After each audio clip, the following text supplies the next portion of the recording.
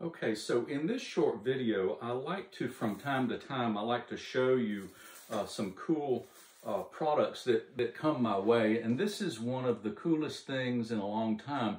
So this is a, uh, an expanded shell dollar, but it's a, it's a little different. Let me, let me kind of explain how this thing works. So um, this is not something that you can show the spectator this way. You can only show it this way because um, if I want you to think about an expanded shell silver dollar, but think of two of them, and they're going to be connected together and hinged with bands. So they're expanded, uh, they're they're hollowed out or machined out, uh, and then they're also a little bit thicker. So it's probably, uh, I don't know, the thickness of maybe three or, or four silver dollars even.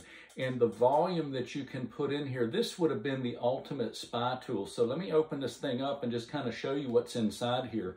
Uh, absolutely amazing. well, the dime just fell out, but there's a dime inside there. I have a sponge ball. Um, this, I don't know if y'all can see that, but that's a, um, that's a micro SD card.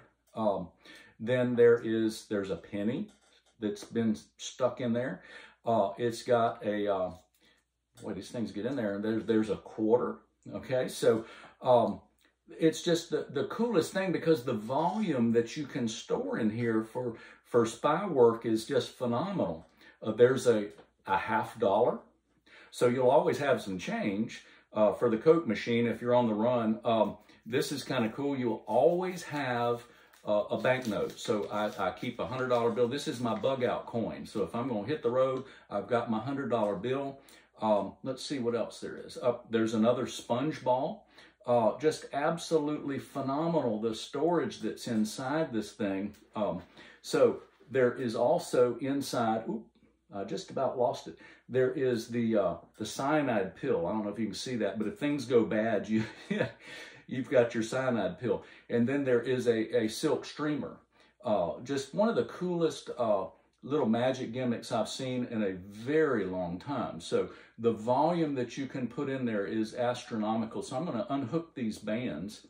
Okay, so there's the one, uh, there's the one silver dollar, and then just uh, the uh, machining on that thing, I don't know if y'all can see that, but it's incredibly, incredibly well done. So, uh, so we have a, a banknote, a couple of sponge balls, we've got a half dollar, we've got a quarter, we've got an SD card, we've got our, uh, we've got our cyanide pill if things go bad, you've got a dime and a penny, and you've got a big streamer. So uh, hopefully, uh, hopefully you like that video. It's a very cool gimmick, and I think this is another one of those that that is going to be the magic gimmick maybe of the year. So this is a clamshell, so means that it opens and closes like that. It's spring-loaded like a flipper coin, so uh, it, it, once it's closed, it's pretty well closed.